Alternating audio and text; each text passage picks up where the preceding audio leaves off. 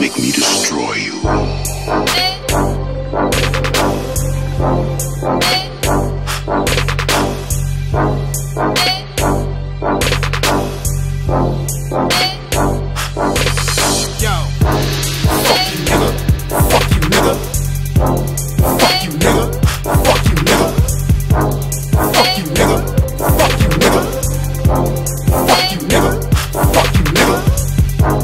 Fuck you, nigga.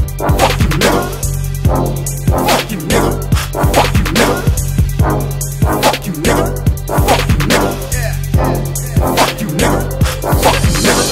Please don't confuse me, my life's a real movie. They say I look like Cassidy, but he's more.